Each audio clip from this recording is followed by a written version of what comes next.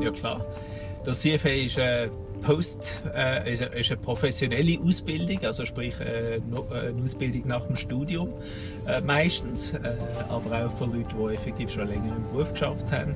Ähm, und äh, es ist eine Ausbildung, die vor allem für Finanzgeneralisten oder wo die zum Finanzgeneralist macht.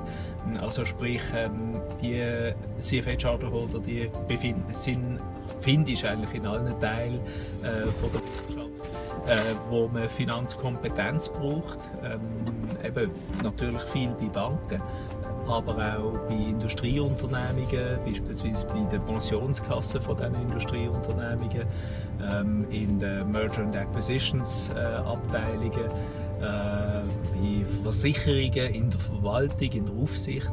Wie gesagt, überall dort, äh, wo du Fachwissen brauchst äh, über die Finanzindustrie oder Finanzen.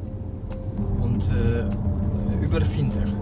Kannst du sagen über Fintech, äh, was, was passiert jetzt in Fintech-Welt äh, in, in Zürich, in Schweiz? Mhm. Fintech ist, äh, ist eine, ja, man kann nicht sagen eine Branche, aber es sind viele Unternehmungen, die sich jetzt gründen, die entstehen, äh, die versuchen Geschäftsmodelle aufzubauen, die funktionieren, also die nachhaltig äh, sind.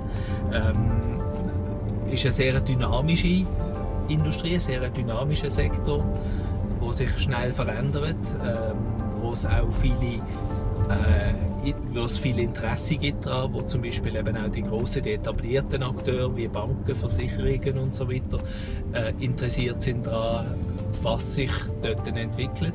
Und äh, allenfalls auch zum äh, Modell denen zu akquirieren, Firmen zu kaufen, wo, wo sich eben etabliert haben als erfolgreiche, als, gute äh, Prozessmöglichkeiten, wo sie dann können ihre eigenen etablierten Geschäftsmodelle einbauen ähm, von dem her ist das etwas, was sehr, sehr interessant ist natürlich für den Finanzplatz Schweiz, ähm, weil das so ein Innovationslabor ist für den Finanzplatz. Mhm. Aber ich glaube, die, die, der, der wirklich große Schritt für die Finanzindustrie, der steht noch aus. Äh, der liegt nämlich dann wirklich, der findet dann statt, wenn auch die Regulierung äh, sich viel stärker anpasst an die Möglichkeiten, äh, wo Fintech oder wo die Anwendung von Technologie in der Finanzdienstleistung äh, ermöglicht überhaupt. Und dort sind wir noch ein gutes Stückchen weg davon. Okay, aber denkst du, dass hm, Fintech kann wirklich äh, äh, Ökonomie in Schweiz verändern? verändert? Ja, ja, klar, natürlich. Also das ist äh, aus meiner Sicht selbstverständlich. Äh, das hat sie ja äh, schon in vielen anderen Industrien gemacht, wo, wo heute nicht mehr, wo, wo kein Stein mehr auf dem anderen steht. Wenn du schaust, die Reiseindustrie, wenn du schaust, ähm, Druck, die Medienindustrie, das sind alles Industrien, die revolutioniert worden sind durch Digitalisierung. Ähm, das Gleiche wird auch in der Finanzindustrie passieren.